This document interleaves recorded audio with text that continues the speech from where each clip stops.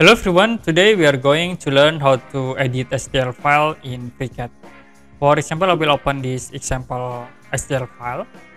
And if you want to edit this STL file, we need to change into shape from this mesh object.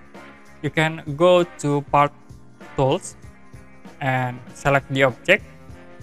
In a part menu, you can click create shape from mesh. Click OK.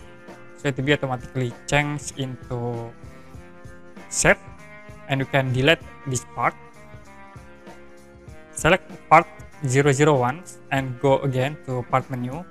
The next we need to convert to solid. You can click here convert to solid. And then it will be automatically convert to solid for these objects and you can delete uh, this part.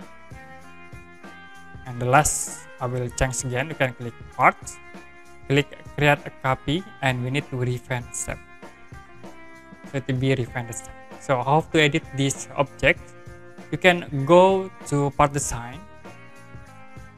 Okay then select part tools click here part objects and then you can click create body.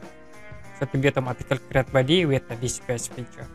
The next you can edit like i will uh, create hole in this space. You can select and i will uh, create sketch now in here we create circle at this point.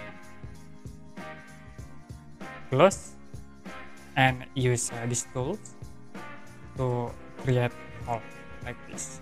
If you done click ok. Okay that's it. How to edit STL file in FreeCAD.